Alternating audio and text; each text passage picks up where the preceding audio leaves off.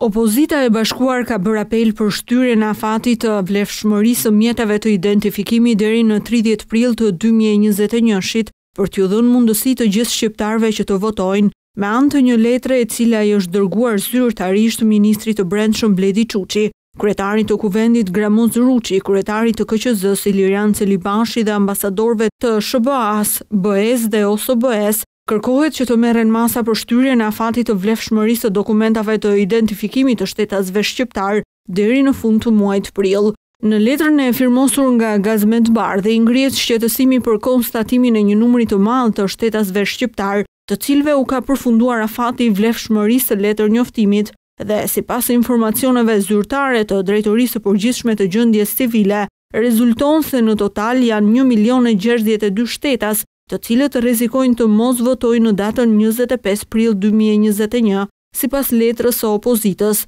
Pamundësia ekonomike dhe koha e shkurtër për pajisjen me karta identiteti apo pasaporta për qytetarët shqiptarë që u ka skaduar, Kërkohet që të merren masa të shpejta dhe të vendoset shtyrja e vlefshmërisë së dokumentave të identifikimit. Sipas opozitës, kjo masë nuk duhet të ndalë nxitjen për shtetasit shqiptarë që të bëjnë rinovimin e dokumentave të tyre të identifikimit, por për efekt të garantimit të së drejtës kushtetuese për të zgjedhur. Ndërsa na ndajnë më pak se shtatëdhjetë ditë nga zgjedhjet parlamentare të prillit, Rinovimi i kartave të identitetit ose i pasaportave vijon me ritme të ngadalta prej qytetarëve shqiptarë.